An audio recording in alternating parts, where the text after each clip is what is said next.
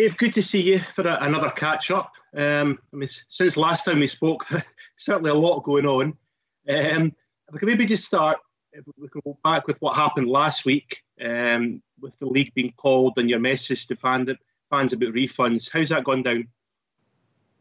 Yeah, no, I think that um, um, we did the right thing as a league in taking our time to be able to, to, to kind of go through all the options related to finishing the league off. And the end of the day, we all unanimously said we couldn't do it. Um, what we wanted to do uh, was be upfront, um, uh, Mal, and and just let fans know that between the fans and the corporates, there was about a million pounds worth of credits. excuse me, million pound worth of credits there, and that for those that um, clearly need the money, they should take the credits um, and they're due it. Um, but also um, the appeal to, to the fan base and to the corporates for them where they could leave the money in the club would be would help significantly. And the response has been phenomenal. Yes there are people that have taken rebates and they should take the rebate because uh, only they know their financial position. But overall i think um, it went down really well. Um, lots of feedback about appreciating the transparency with with where we were David, so just to clarify, you've obviously the, the, initial financial plan that was put in place, which we did swiftly, that was just to cover for the sort of summer months. Now, obviously, not knowing that we're not going to be playing football for a while in front of crowds, there's a need for us a longer term plan. Is, is that right? Well, I think that, you know, the one thing is sure that the plan you go out with could be changed every couple of months, depending on the information we used the best information we had two and a half months ago to predict football coming back August or September, right? And we're where we are now, clearly, with the pandemic and with everything we know, is that that's not going to be the case. Um, but what we need to do, and hopefully, as I said earlier, it's the next couple of weeks, is to assess where um, the information we have then. I mean, right now, I can't tell you how we're going to broadcast games um, on virtually, you know, on on on um, a virtual season ticket, right? And what that cost might be to us, and which games we'll be able to show, and and that information is being worked on right now.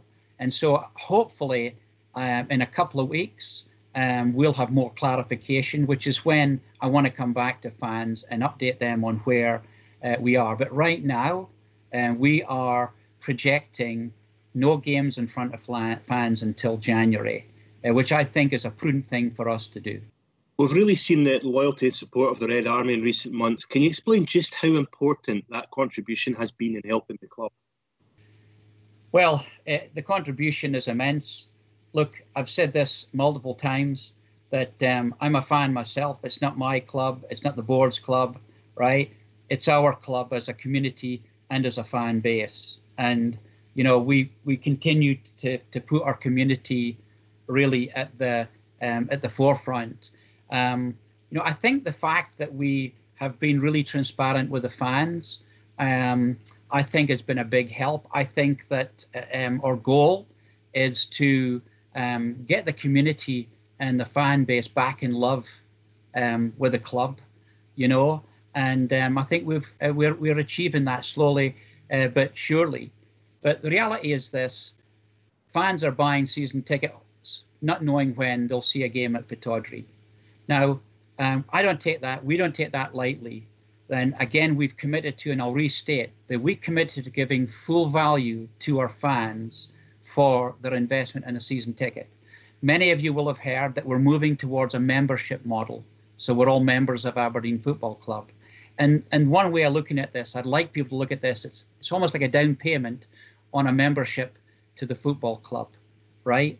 And and as and when we have full clarity on when the games will be played, right, and what games we'll be able to show. If we're able to show do a virtual season ticket till December, can we show both home and away games? And can we? What will we be charged? You know, for doing doing that? But I'm really asking the fans to put their trust in me and the club that we want to do the right thing I'm not perfect. I make mistakes, but you know, um, I'm saying to the fans that you know this is the biggest crisis we as a club faced in our 117 years of uh, being uh, since we were founded.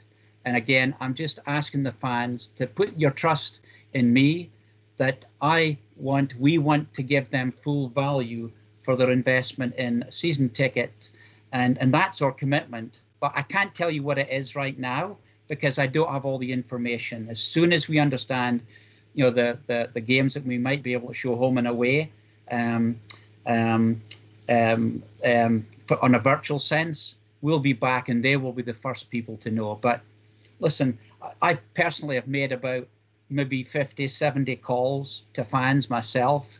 And you know what? It really helps me too. It's really hard. You know, it's uh, it's tough having been chairman for less than or about 90 days and then this crisis hits. But look, I'm up for it. The fans are up for it. The corporates behind us are up for it. And everyone at the club is up for this. We have to see this through. We can't sit back and wait for it to happen. And so, as soon as we have a plan related to how we give value to the fans for their season ticket investment and their Aberdeen investment as well, we'll be back to them. They'll be the first to know. Okay, Dave, there's obviously a lot of decisions for you to make, but what are the priorities for the board and the management in the next few weeks? Well, the priority is for us to assess um, where we might be with this and to be um, kind of uh, conservative in our projections of income um, so that we can see this through. But um, it's going to take us another, I would say, two to four weeks, essentially, to put in place a survival plan for the club on the basis that we're not going to be playing in front of fans until January. So everything we are doing is about um, how Aberdeen Football Club survives, and through that is actually doing the best that we can for our for our stakeholders, our fans, uh, our staff, players, management, for everybody. Um, it's a very tough position to be in, but that's that's what we need to do is put in place a survival plan for the club, and um, and then then share that with those people directly involved, and so they're aware of what's going on. Dave, just any final word for the fans? I mean, I know some some tough decisions ahead, some, some challenging times, but I mean, your passion's still there, and I know from you there's still real general excitement for when when we do get back to playing football again.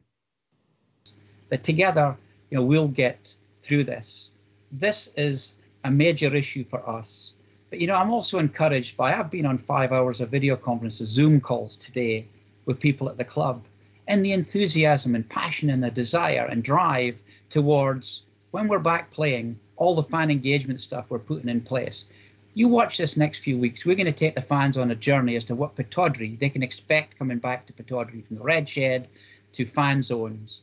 That's the thing that encourages me because if you sit back, the cup's half empty, and you go, well, you know, we'll do the best that we can do, and we won't change anything. The fan engagement, we'll just sit back, then and hibernate Absolutely not. We are not hibernating. We are on the front foot as a club, putting into place the things we believe are the right things to do for our club, our community, and our fan base. Yes, it's tough, but the message is this you know, we'll get this done. Dave, thanks for your time. Yeah, take care. Stand free.